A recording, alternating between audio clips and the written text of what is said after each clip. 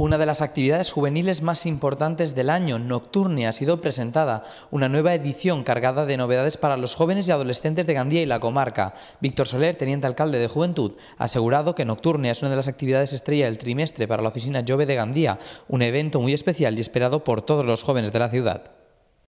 Yo creo que para nosotros y esperada por los jóvenes de Gandía porque en anteriores ediciones ha funcionado muy bien y en esta pretendemos ampliar, consolidar y proyectar en un sentido diferente, porque además tenemos infraestructuras que nos lo permiten, como es el Centro Juvenil de Gandía.